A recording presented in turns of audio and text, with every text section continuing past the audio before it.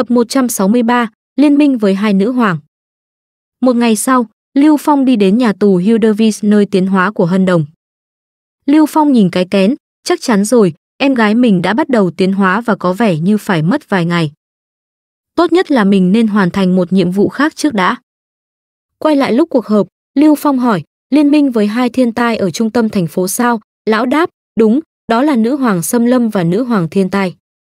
Lưu Phong lo lắng, không ổn, chẳng lẽ mối quan hệ của mình với thiên tai đã bị phát hiện. Lão nói, hiện tại lũ zombie đang tấn công, quân đội của chúng tôi cần có sức mạnh phòng thủ. Tôi nghe nói thủ lĩnh của giáo phái Wii cũng là một thiên tai giả tự nhiên, nếu hai thế lực thiên tai ở trung tâm thành phố lợi dụng tình hình lúc này thì... Vậy thì căn cứ ở phía bắc thành phố không thể phòng thủ được, Lưu Phong hơi kinh ngạc, cái gì? Lão lại nói, nhưng bây giờ cậu là người duy nhất có dị nhân cấp SS trong toàn thành phố, vì vậy chỉ có cậu mới có thể làm được điều này. Lưu Phong thầm nghĩ, dọa mình hết hồn, mình tưởng mình bị phát hiện có liên quan đến thiên tai rồi chứ. Lưu Phong nói, trong thực tế, tôi đã từng giải quyết chúng trước đây, nhưng kết quả thật khủng khiếp, là là anh Phong bị hai ẻm vắt kiệt á anh em. Mọi người trong phòng họp nghe anh nói mà ai ai cũng kinh ngạc há hốc mồm, thủ lĩnh Lưu đã gặp phải thiên tai sao, kết quả thật khủng khiếp. Kết quả là tôi bị họ bắt và tra tấn dã man, à là hai tay hai em tra tấn trên giường á, ha ha. Mấy lão lại kinh ngạc, cái gì, bị thiên tai bắt và bị tra tấn dã man, trong suy nghĩ là Lưu Phong bị trói lại rồi bị đánh này kia. Vừa cả thầm nghĩ, hai tai họa này thường xuyên giày vò thủ lĩnh Lưu Phong, sớm muộn gì ta cũng sẽ tiêu diệt chúng. Còn Long Hiên thì, đây có phải là sự cao thượng của một người lãnh đạo sẵn sàng hy sinh bản thân vì chạm tị nạn để bị tra tấn. Lão Đông Phương liền đứng dậy vội vã bắt tay với Lưu Phong, tôi, quân đội của chúng tôi sẽ bổ sung thêm 5 xe tăng nữa và giao cho cậu khi hoàn thành nhiệm vụ. Không, 10, chỉ có cậu mới có thể hoàn thành nhiệm vụ này. Lưu Phong ngơ ngác, à. Hả, chuyện gì đã xảy ra vậy? Chợt hệ thống thông báo, tinh, nhận được nhiệm vụ, ngủ với nữ hoàng thiên tai và nữ hoàng xâm lâm để ký hiệp định hòa bình ở phía bắc thành phố. Phần thưởng chứng tai họa cộng 20 xe tăng, danh tiếng của Long Hiên và Kelly với ký chủ sẽ tăng lên, quay lại hiện tại, kết quả là thế như này. Hân Đồng, anh trai, anh tin em sẽ ổn thôi. Ngày em thành công cũng sẽ là ngày Trịnh Thiên Hùng phải chết. Bây giờ anh phải thực hiện sứ mệnh của mình. Trung tâm thành phố nửa giờ sau. Lưu Phong đi đến nơi ở của Lý Hàm Yên.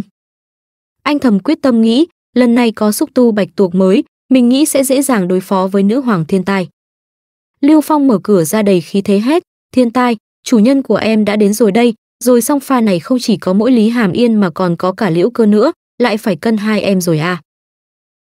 Lưu Phong thấy hai em vợ lại ở cùng nhau mà rén ngang, hai, hai hai, hai hai em, làm sao lại ở cùng nhau rồi. Hai em nhìn Lưu Phong như một con mồi tự dâng tới cửa, Liễu Cơ nói, ô, tiểu lang quân, cưng muốn làm chủ nhân ư, chị ơi, chị có muốn cùng làm chung luôn không? Đứng trước hai cô vợ to tròn Lưu Phong nhỏ bé vội vã nói, đợi, đợi một chút, anh đến đây để đại diện cho thành phố phía Bắc và thành lập liên minh với hai em. Hai em áp sát quả đồi to tròn vào mặt Lưu Phong, Lý Hàm Yên nói, sao vậy, em trai của chị, sao bây giờ sợ hãi thế sao, cưng làm sao đấy, chị vẫn thích vẻ ngoài ngỗ ngược của cưng lúc này cơ.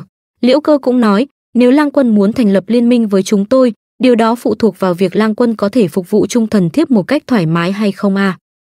Trước uy áp to lớn của hai em vơ Lưu Phong chịu không nổi nữa hết, hai người làm tôi bực mình đấy, phụ nữ. Xuất hiện đi, xúc tu bạch tuộc Mersas, xúc tu của Lưu Phong liền bay ra quấn lấy liễu cơ, cơ mà ẻm này lại có cái tính cách khá là SMA, liễu cơ tận hưởng, tuyệt vời. Còn bên đây là Lý Hàm Yên, Lưu Phong nói, và nữ hoàng đằng kia, em đã thành công thu hút sự chú ý của ta. Thưa nữ hoàng, sau ba ngày được công nhận, em nên nhìn ta với sự ngưỡng mộ. Hãy cẩn thận, đừng có mà khóc nhé, he he he. Trong lúc Lưu Phong cùng hai em vợ đánh cờ thì ở phía bên kia, trận chiến phòng thủ tường thành ở căn cứ phía bắc thành phố đã bắt đầu, cuộc chiến chống sự tấn công của zombie đang diễn ra kiệt liệt. Long Hiên đứng trên tường thành nhìn xuống mà cảm thán, đây có chính là một trận chiến để bảo vệ bức tường thành phố, thật tà nhẫn. Kelly bên cạnh nói, lần này chúng ta phải dựa vào sức mạnh của chính mình để bảo vệ tường thành, không thể dựa quá nhiều vào thủ lĩnh được. Long Hiên đáp, cô nói đúng, nếu chúng ta không thể bảo vệ dù chỉ một phần tường thành bằng sức mạnh của mình, thì cũng không thể bảo vệ được trạm tị nạn. Kelly đáp, và đội trưởng của chúng ta chắc hẳn đang làm việc chăm chỉ lắm đây. Long Hiên quay về phía sau hét, vệ binh thánh địa, phía sau đội kết hợp của trạm tị nạn cùng quân đội đồng thanh hô, đó. Nhớ đăng ký kênh để xem tập tiếp theo vào ngày mai nhé.